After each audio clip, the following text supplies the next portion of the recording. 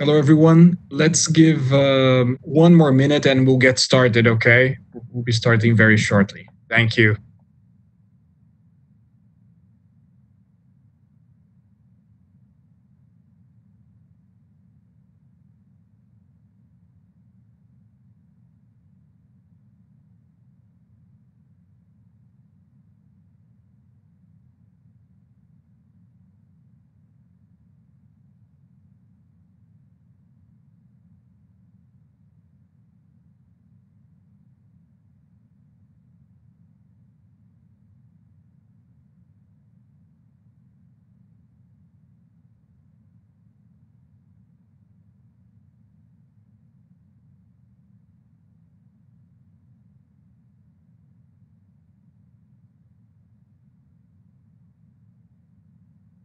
Okay, I see there are still a few people joining us, but we should we should get started here on time. Um, hello, everyone. My name is Roberto Simon. I'm a senior director of policy at America Society Council of the Americas and the head of our anti-corruption group. Uh, I'm also the co-author of the Capacity to Combat Corruption Index, the CCC Index. Uh, we're thrilled to have this very special group of panelists today um, to discuss the, the state of anti corruption in Mexico based on some of the CCC index findings. Um, before I present them, uh, let me start with a few important reminders. Um, first, for those of you joining us uh, on the WebEx, uh, please keep your microphones on mute all the time. Um, for those of you, some of uh, are also joining us through the, our social media uh, platforms this panel is on the record and it's being live streamed. Um, so, and we will have a Q&A at the end, a Q&A session. If you're on the WebEx platform, please use the chat box on the right side of your screen to ask questions. Um, if you're following us on social media, please use the, the hashtag ASCOA or America's Quarterly. Uh, this event is sponsored by Control Risks, which is also the co-developer of the CCC Index. My co-author in the report was uh, Geert Aalbers, a partner who is also present here today. Uh, we're also very grateful to other sponsors of our anti-corruption working group, um, CFA Institute, Millicom, and Cleary Gottlieb. Uh, we will have other events looking at specific countries uh, and discussing them based on the CCC index findings. Uh, next week on Wednesday, 9 a.m. East, we'll have an event dedicated to Brazil. And on the following week, uh, one event dedicated to Peru. Um, as I said today, we have a very interesting group of experts on anti corruption, all of them based in Mexico, uh, Mexico City, more specifically, to, to discuss with us uh, what's going on on the ground in Mexico. Uh, Mariana Campos is the Public Expenditure Program Coordinator at Mexico Evalúa. Uh, Pablo Montes is the Anti Corruption Coordinator at the Mexican Institute for Competitiveness, IMCO. And Francisco Garcia is a control risk analyst focusing on political risk and corruption. Before we get started uh, with the discussion, let me just very quickly uh, present present everyone um, some of the findings that we have for Mexico. Um, you guys can see the screen, right? I'm sharing my screen here. Very quick PowerPoint presentation uh, just to get started with the discussion. So basically, Mexico ranks uh, in eighth place uh, in our overall ranking. You see here the full list. We cover the 15 largest economies in Latin America. Mexico is behind countries like Colombia, Argentina, Peru, and Brazil uh, with the, the score uh, 4.55 out of 10. Um, when you compare Mexico's score uh, this year, 2020, to the score last year, we haven't seen any significant changes, right? Despite the fact that AMLO has really focused on, on anti-corruption and anti-corruption has remained really at the center of the government's agenda, a major topic for Congress, etc the score hasn't really changed. If you compare, for instance, to the score to Brazil's score, Brazil had a, almost a 10% drop between uh, 2019 and 2020. Peru has uh, uh, something like a 6% improvement. Uh, but, you know, Mexico had a slight variation, but nothing really dramatic. We consider that the, the, the score is stable since last year. The index is composed of three subcategories uh, one that we call legal capacity, basically the legal tools to fight corruption. The second one is democracy and political institutions. And the third one is civil society, media, and the private sector. You can see the legal capacity here, the purple chart. When you look at Mexico, Mexico is at, at a similar level that, than countries like Ecuador, Panama, or even Guatemala. If you look at the state of democracy and political institutions in Mexico, you see that actually Mexico is really close to countries like Brazil and Peru. And I think civil society is kind of the, the really positive side of the story, where Mexico ranks uh, above Colombia, above uh, uh, Peru, for instance, and close to, to Brazil. Um, finally, this I promise is this the last slide. We have the 14 variables here that the CCC index assesses what is important here is to look at um, the average for the 15 scores and where Mexico stands, right? And you see that in several areas, Mexico is behind uh, or below the, the regional average, right? In, in critical areas like the, the independence and efficiency of courts or the strength of anti corruption agencies, but also regarding the overall quality of democracy lawmaking and ruling processes. But again, we also have some really positive uh, areas. Uh, you can see, for instance, that civil society mobilization against corruption in Mexico is significantly above uh, the regional average. In some areas in the legal capacity, such as government transparency, Mexico is also above uh, the regional average. If you want to learn more, or if you want, if you have questions about the um, the methodology of the index or you want to check other countries, the report is available on the ASCOA uh, website and on America's Quarterly as well. Reach out with questions.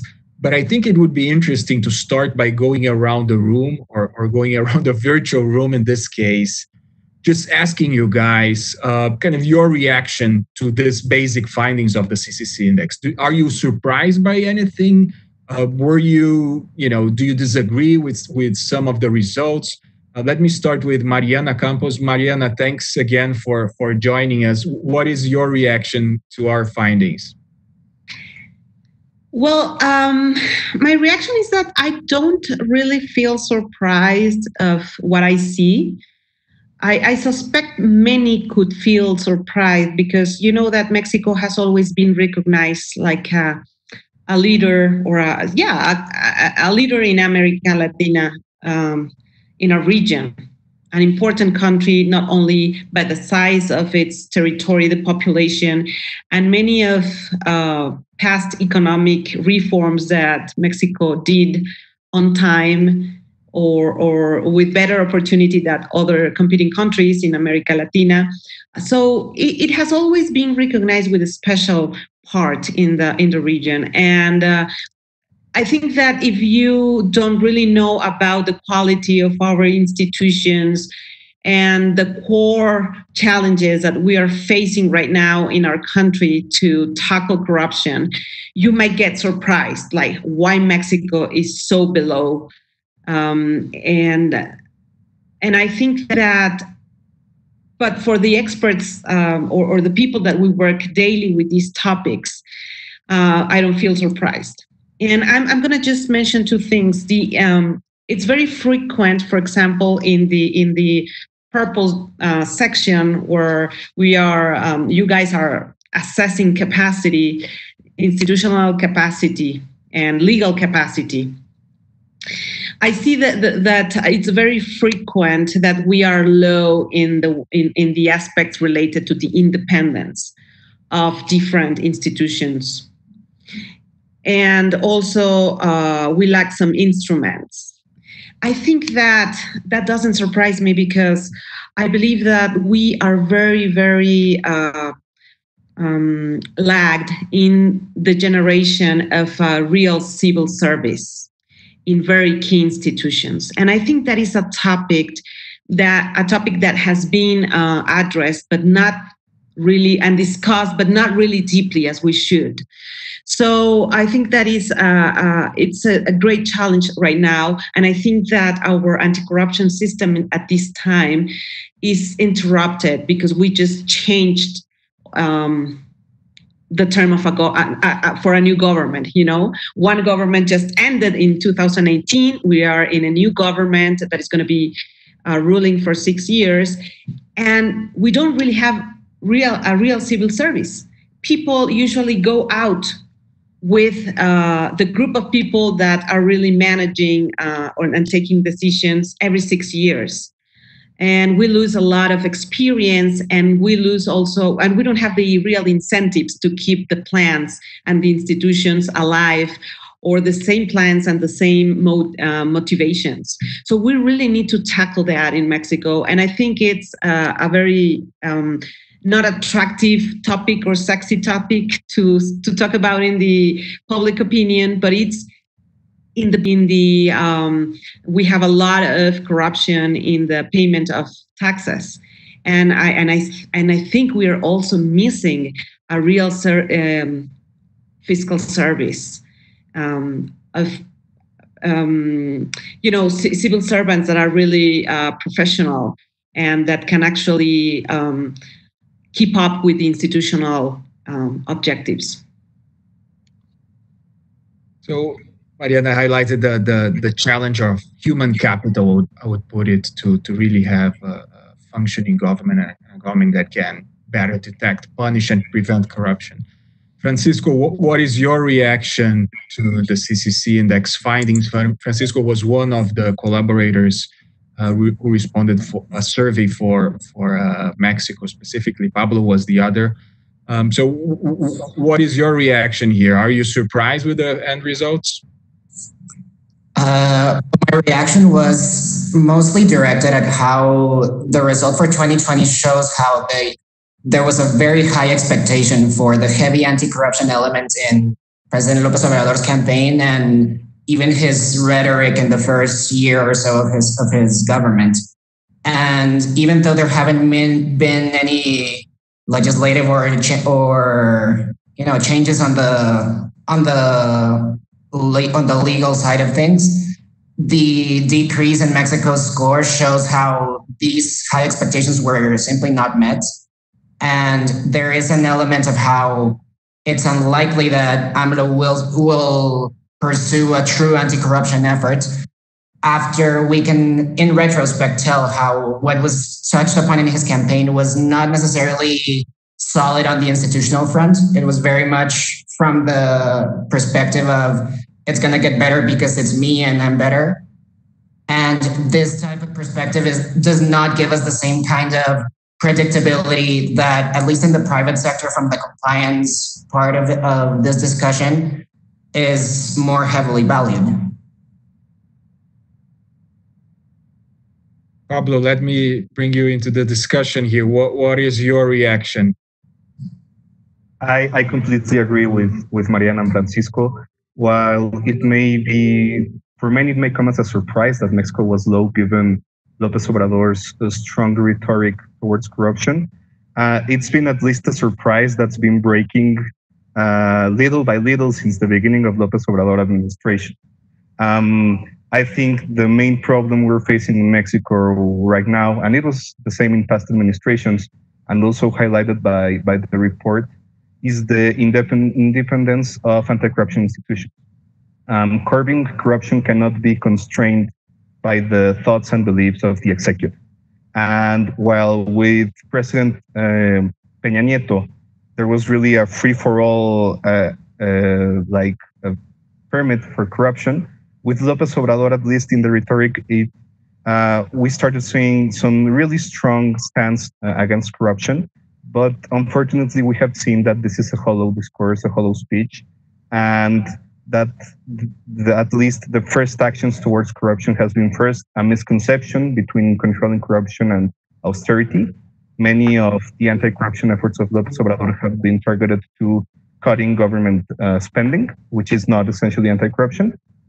And second, and it's also highlighted uh, in, in some of the report's indicators towards the independence of, of the anti-corruption institutions, is that we've started to see a politically motivated use of the anti-corruption investigators. We've seen that most of the cases brought forward by the administration appear to be politically targeted towards cumbersome characters but at least in the cases that we've seen that are close to the president's circle or close to the president government, we've seen that there are not clear actions or sanctions.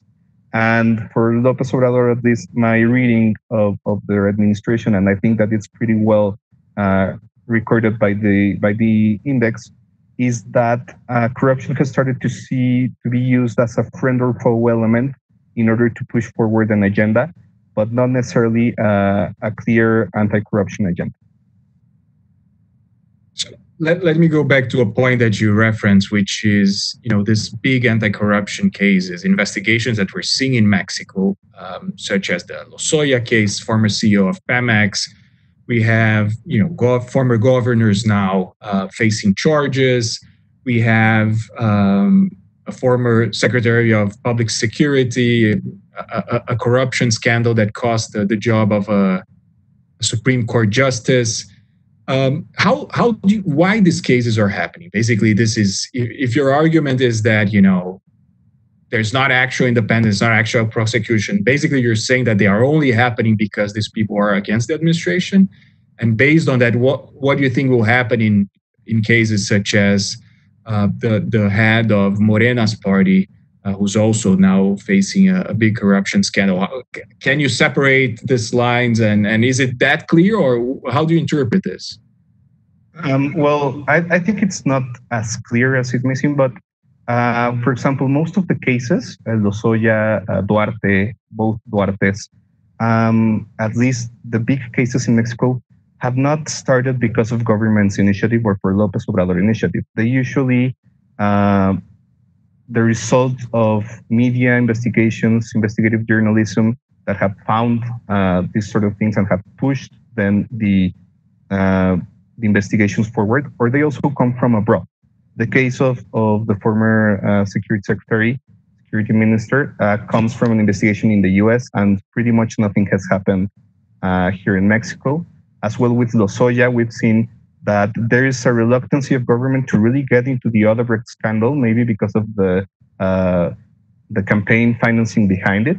But we've seen a lot of splashes, but not really some substance. And regarding the the former Morena head uh, investigation that the, that actually uh, it formally initiated today, at least, um, I see that as a power struggle between the party within the party and this power struggle was lost by Polevnsky, and she's now suffering those consequences. But it, you cannot see a clear anti-corruption effort or anti-corruption agenda behind these cases, and they are flashy and they may uh, give the appearance that something is happening.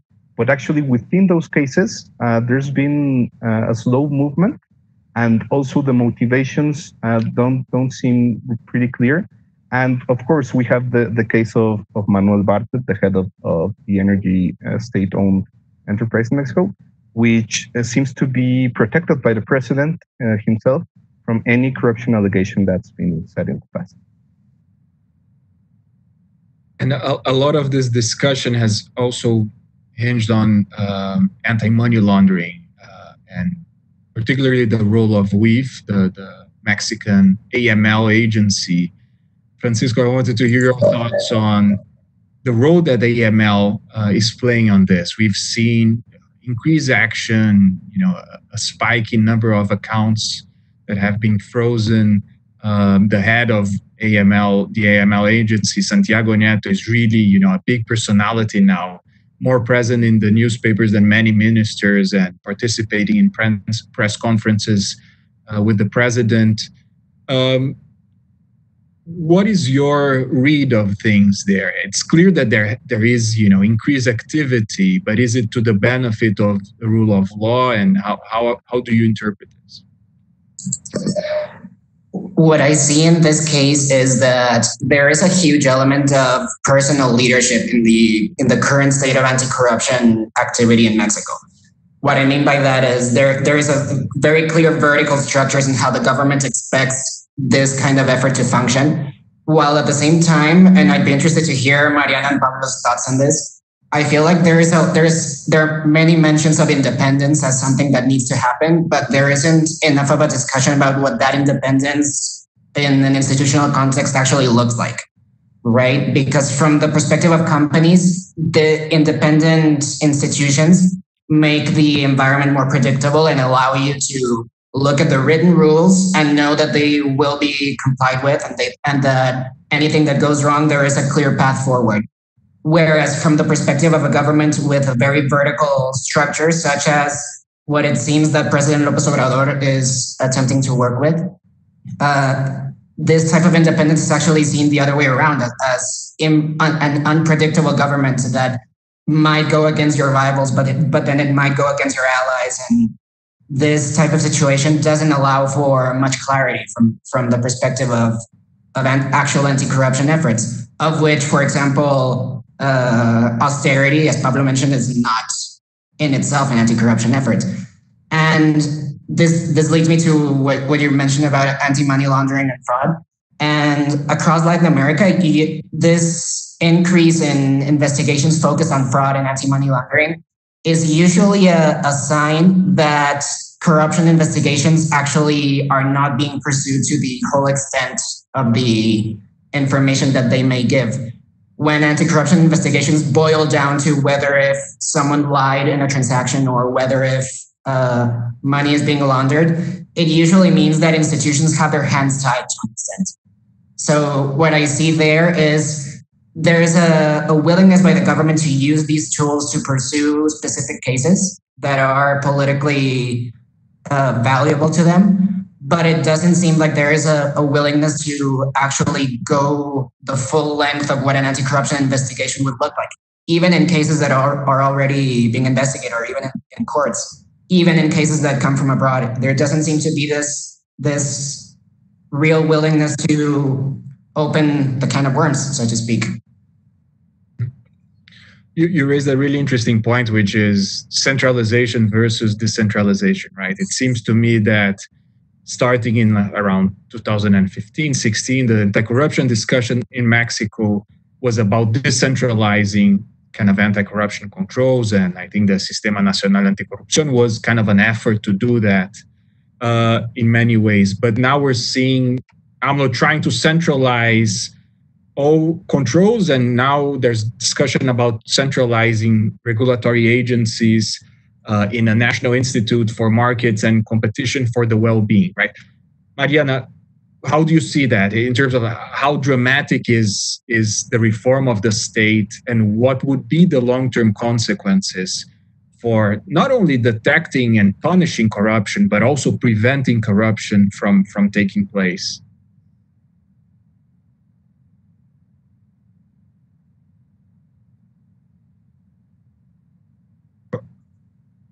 you, you need to un- unmute your mic. Sorry about that.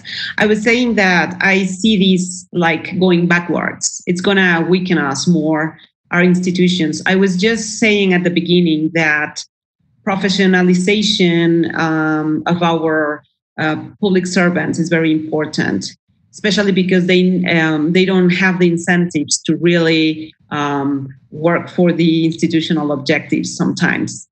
So Mexico has developed uh, different autonomous institutions along the years to put aside some functions of the state and to grant a better um, performance of, of such uh, institutions, you know, to keep them a little bit like away from the politics and to develop technical skills and capabilities.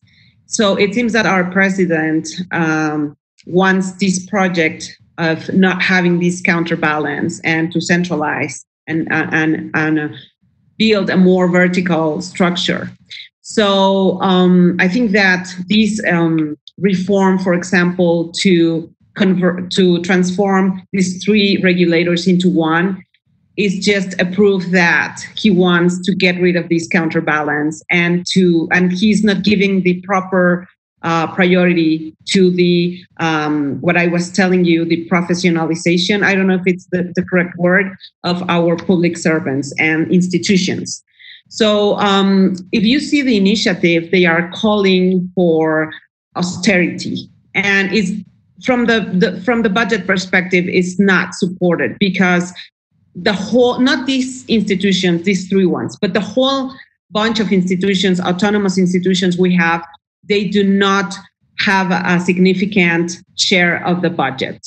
So even though if you disappear all of them, you will not change anything of the challenges we're facing right now in public finance. So it appears to me that the the real incentive or um, motivation for this initiative is totally different and is more about authority, um, weakening counterbalances, and building this vertical structure. I think that uh, we are going to pay, if it happens, we're going to pay a high price because these institutions not only have benefits in the government, it also have been a lot of benefits in the economy.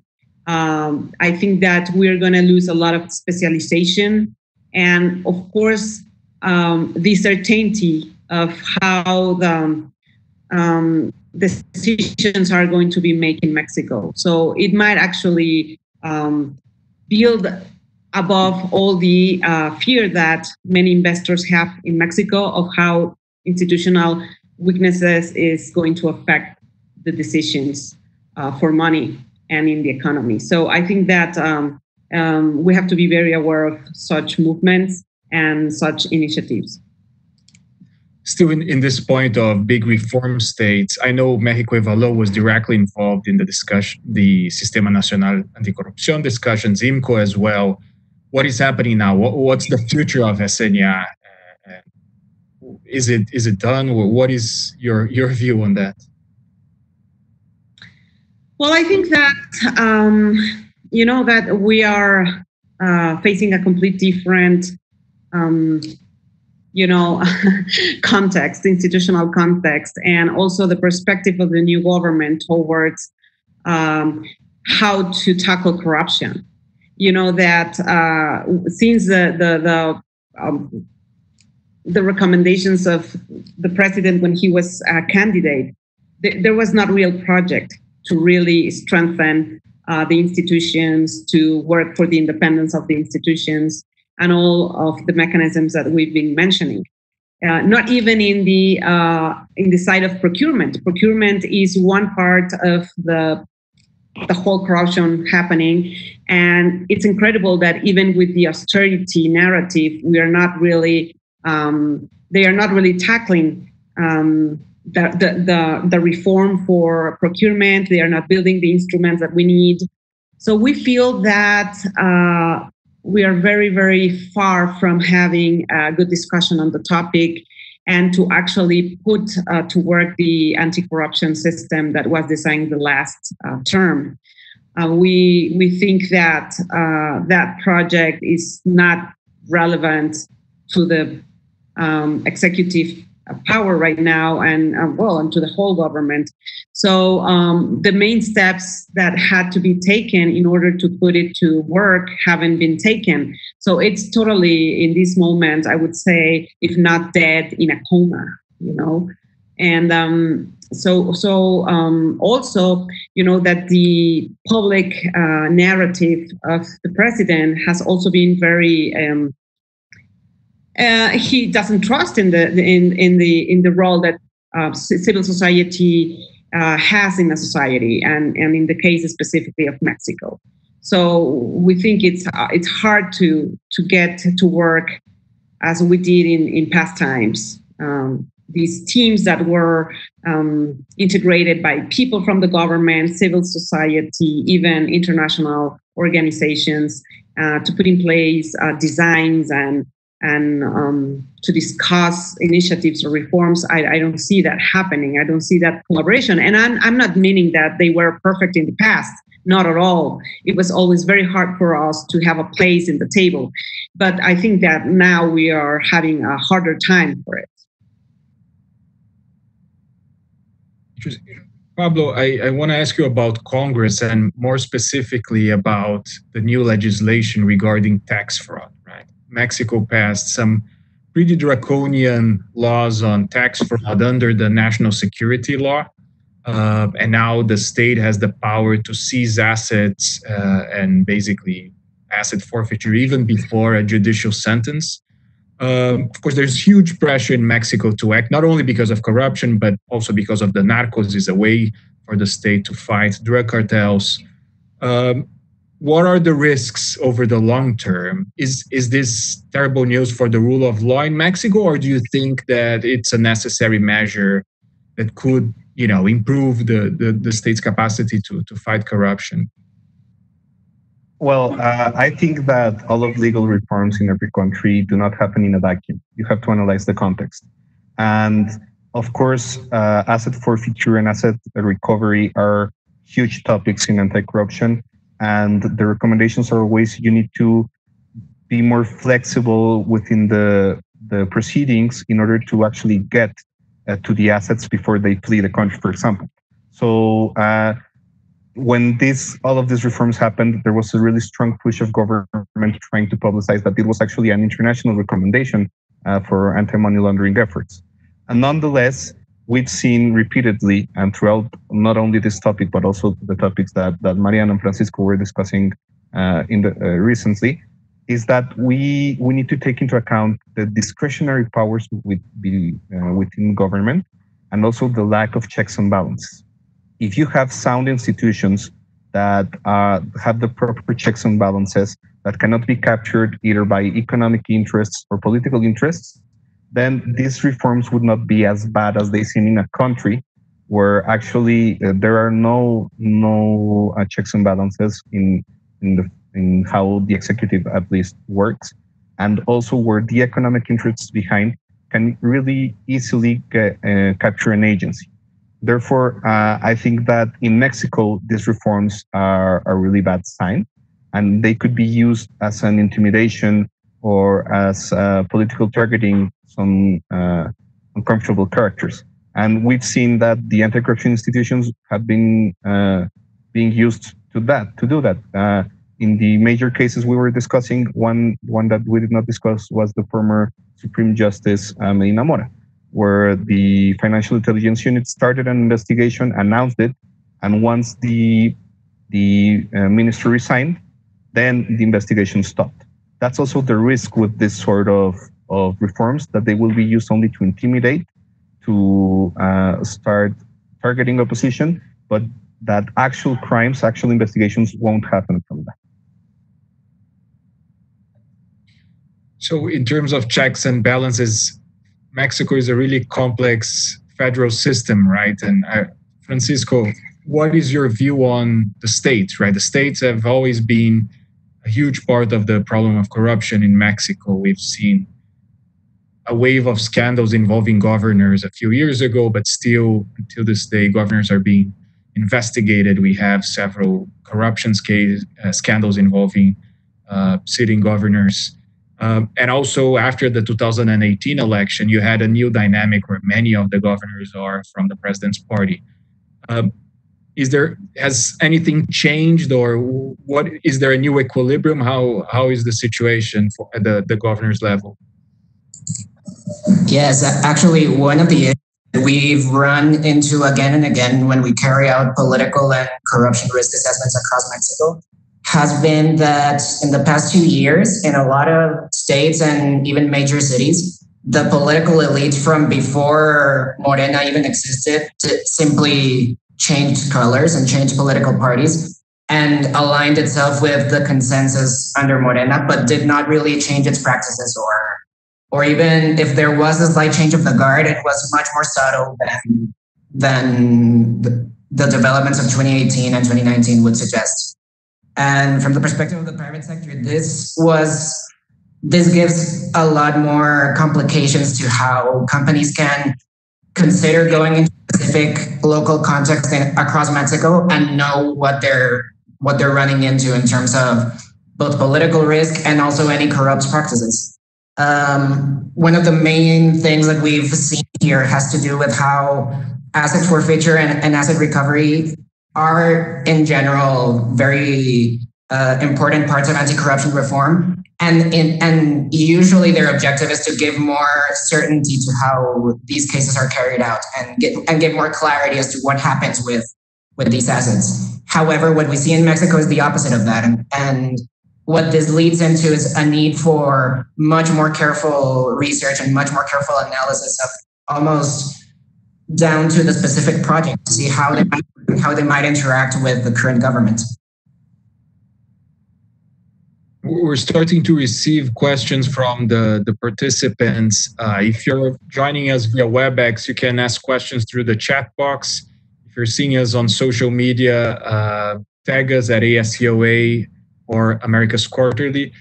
There's one question. Let me start with Pablo. Uh, can we imagine a world in which the AG pushes forward uh, with a major anti corruption case without the president's blessing?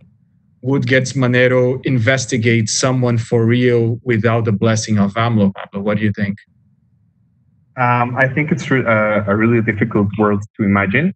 It's been interesting because the Attorney General and the President have remained actually pretty separate, at least in, in the media, in the public discourse. Um, but what we've seen is that there's also uh, some sort of a power struggle between Santiago Nieto in the Financial Intelligence Unit and, and Manero. And most of the investigations that uh, Santiago Nieto starts are not actually followed through uh, with Gertz Manero. But it's, it's really difficult to see that even though uh, legally and institutionally there's this independence from the attorney general to the president in in a, let's say that in a country where the president not only remains pretty popular but also controls uh, some parts of, of both uh, cameras in the Congress, it is really difficult to see uh, anybody within the public administration to start doing things without the, the president's blessing. I think that it would be something really, really uh, let's say, uh, strange if that happens. And of course, if it does happen, it would be really uh, naive to think that López Obrador would not try to do something to stop it. And specifically on this, this the issue that you mentioned, the dispute between Gertz Manero and, and Santiago Nieto, what is the main reason they're fighting? I mean, the fight has become public in some occasions with basically um, Gertz accusing Santiago of violating the process. Um, like, do you think this this is changing, or you know, are we seeing a more peaceful moment between the two of them? What are the risks? Well, uh, at least we've not seen this fight uh, grow, or at least it had it had stagnated in the past. Also, the the FIU and also the Attorney General have remained pretty silent during the past months. Of course, the the global pandemic has also a lot to do with that. But um, the the reason behind that struggle was the protagonism that Santiago Nieto was having. I, I that's at least the the hint that I was given in the media, and also that this uh, need to publicize everything he was doing could jeopardize the investigations of the attorney general because of, of due process. That's at least the reasons behind that. Uh, I don't know if there's any more uh, on the back scenes, but uh, it is worrisome that the financial that the financial intelligence unit, which has been the institution that has been more participant, at least, or more salient in the fight against corruption with López Obrador, is not really cooperating with the attorney general. Mariana, we haven't talked about the elephant in the room, and I see there are a few questions about this. Uh, and by the way, if you want to ask a question through the social media through our social media platforms, I was reminded here, use a hashtag CCC index and we'll be able to see you. Mariana, COVID 19. Uh, we're seeing cases uh, exploding in, in Mexico, uh, a very controversial policy uh, from, from AMLO personally. What are the impacts on the anti corruption space, both in terms of scarcity of resources for enforcement agencies, but also new opportunities for corruption? Um, how, how, do you see this? Yes, I, I definitely think that those are um, I mean, we're getting all the factors to again make the problem much more difficult to solve and, and a bigger problem. Problem because I would add to the list this context about an emergency. So everything it can be justified with the emergency. You know, it's like people are dying. We need to do that. This is fast. So if you go out with the topic of anti-corruption, or you know, guys, we need to uh, think on the corruption. It's like this is an emergency. We cannot think on corruption. So corruption um, stopped to be like a, such an important topic. And uh, we we've seen also uh, movements from from the um, different executives uh, from uh, some states, but uh, from the federal president that we um, excuse me to gain power in the in the um, management or control of the budget, for example. Uh, so with the um, excuse of the emergency, now we think we don't need to uh, go to the Congress and discuss some budget issues, you know. And uh, uh so, so we think that uh, also this agenda about gaining power and weakening the counterbalances is getting more fuel. Um, the cuts are definitely out of order because um, we've seen, for example, with the World Health Organization, um, it has a, a, good registry of how these um, budget cuts are happening in the administrative costs, for example, in different governments. And I've seen that 30% of the administrative costs have been one of the highest. In Mexico, we just have a, a proposal, well, a, a decree with 75% of cuts in, in important um, um, administrative expenditures.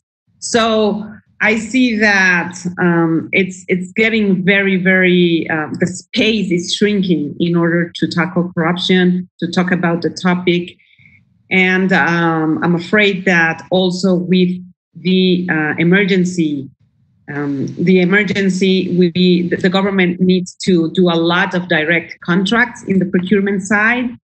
So I think we're going to see a lot of corruption in that side, and we already seen uh, some journal, some um, reports on that from the um, from journalists. You know, so I, I think that uh, it's going to be very very frequent, and um, a higher distance to get there where we need to be. Mm-hmm. Francisco, I know you work a lot with companies, and, and you know, COVID nineteen is also a huge topic for compliance uh, in Mexico. What are your thoughts on kind of the new, the new risks?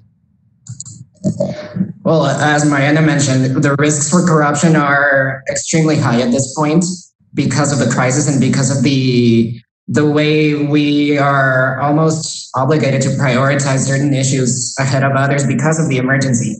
Um, one important thing to keep in mind here, uh, especially from the from the perspective of compliance, is that we uh, we as analysts and also companies have to make the extra effort to identify what corruption actually is, what what it actually represents, and distinguish that from issues that are may, may be called corruption, such as uh, excessive spending in the government or the contents of specific sanitary measures, when in reality, the impact of, of corruption has to do with the strength of institutions and how they might function in the future, and especially whether as, as investors or as citizens, we can count on institutions to do what they're meant to do. Um, especially things like the premature reopening of the economy are some contexts where there are uh, accusations of this being the product of corruption. And this type of, of discussion derails actual anti corruption efforts, which have very real implications for both the government itself and how it can carry out its own plans, and also the predictability of institutions that is so hugely important for companies. And we have we have a question here from a corporate member asking if we had cases of corruption involving uh, the purchase of products and services to combat the pandemic, and the answer is yes, right, Francisco? If you could talk a little bit about what we actually were seeing in Mexico already, you know, cases involving procurement. Um, can you talk a little bit about them and, and why they're happening? Yes, definitely. Uh, this all boils down to what Mariana was explaining about how the crisis situation makes decisions uh, much more urgent and it makes processes seemingly optional. So we are seeing cases right now, none of them investigated in depth. That's that stage is probably not going to happen until the medium or longer term when hopefully the situation is far enough behind us that we can direct institutions at investigating these issues. But there are definitely situations in Mexico and abroad where there are irregularities in, in the delivery of contracts, in the purchase of medical equipment, in the um, in the carrying out of contracts related to, for example, the implementation of security measures related to to the pandemic.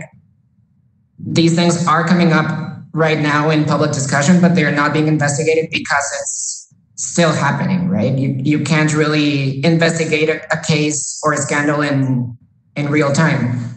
But yes, that, that is a, something that is happening. Also, this has created a, a huge demand for monitoring services, for um, the for specific investigations into companies or into suppliers that that are seeing more business because of the pandemic. So yes, it's it's very much a, a relevant situation right now.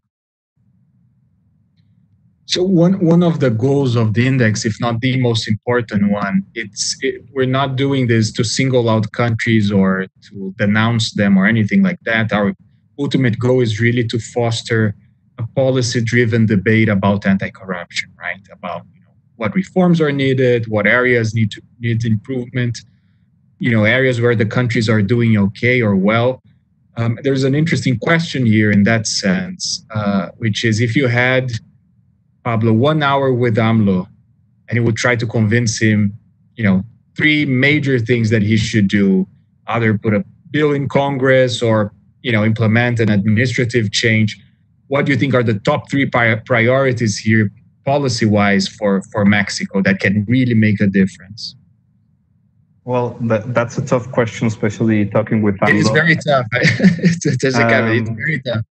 Yes. Uh, well, the, the first thing that, that should be taken into consideration uh, for policy recommendations is that we need to take political will out of the equation.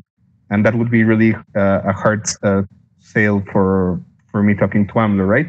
But we, we need to, to take it out of the question and, and start focusing on giving uh, especially special anti-corruption prosecutors, uh, both federal and the states, the necessary resources for them to, to really work. Because in some states, even if there is political will, these institutions lack of the personnel, of the specialization, of the instruments, of the access of information to actually build a case. So we've seen it in Nuevo León, we've seen it in Chihuahua, that even though governors are actually fighting and really struggling to uh, build a case toward a former governor, and even though they have a lot of evidence, it is really hard to uh, build the case in order for it to stand a judicial review. So the most important thing for me right now is uh, giving these institutions the right equipment, the right instruments, the specialization. Mariana mentioned it in the beginning. Also, uh, the the public service needs to be way more professional and specialized. And second, uh, also uh, a procurement policy that starts focusing on economic competition and on prevention and also on using uh, data and technology to prevent and to detect corruption. And right now, the, the procurement policy of President López Obrador has been uh, really disappointing because even though he vowed to lower the, the number of direct awards that, that the government would give, we have not seen this promise uh, follow through. So those two would be uh, my main points in my conversation with the president. Mariana, what what would you add to this list? Um, what is like the most important things in terms of homework for Mexico and you know big institutional reforms, and also you know we have kind of a roadmap already with the national anti-corruption system, right? It doesn't have to be something completely new. What would be your top two or top three policies? you have to unmic your your your you have to unmute your mic. I'm sorry. Yeah, uh, I agree with Pablo in that the first thing, and if if if governments and leaders do not agree with that, I'm afraid we're not going to move any forward, is to uh, separate politics from um, the, the, the objectives and the instruments and the, all the inputs that institutions need to really get forward with their objectives. So, in order to tackle corruption. So, um, second, I would say that we need to also professionalize police forces. It's very important. Like one part of rule of law that is very, very weakened right now is in in that area. So um, please, the, the police forces do not get the salary they need to take. They don't have the compensation. They are not professional, and they don't. They have very very low performance. So I think this is a key thing, and this thing cannot be done without um, a better coordination with the social with the local governments. So we need a much better coordination with the states and the municipalities in this aspect, and we need funding for that. So this takes me to the second point, which is a fiscal reform. We are facing a terrible financial situation in the government right now. And uh, with we were facing that since some time ago, but with COVID, it's going to be very, very hard in that part to get forward with um, reforms or or new ways of doing things. So um, I think that instead of just um, going with very draconian laws, as you said before, uh, for um, tackling this problem with tax fraud that is very frequent, frequent and high in Mexico, the efficiency of um, tax income in Mexico is, for example, for the VAT tax is the lowest in Latin America. And I think that the way they are putting the things for getting better in that side is not going to provide um, the resources they are looking for. So they really need to go towards other ways of getting the money. We need a serious fiscal reform um, to give the state um, the resources we need to move forward in the justice system, in the anti corruption system, and of course in the package of social benefits because all of these um, entail the need of a more just uh, a, Mexico uh, with um, with more, you know, to achieve a country with more justice for everyone. So I think that I would say police, fiscal reform, and counterbalances to strengthen counterbalances. There's there's one interesting question here. Um, basically saying that we usually discuss uh, grand corruption, like big cases involving Pemex and other organizations, and we don't talk much about corruption in the educational system in Mexico, which is a big problem. And also, I would add, in the healthcare system, and now with the pandemic, it's even more critical.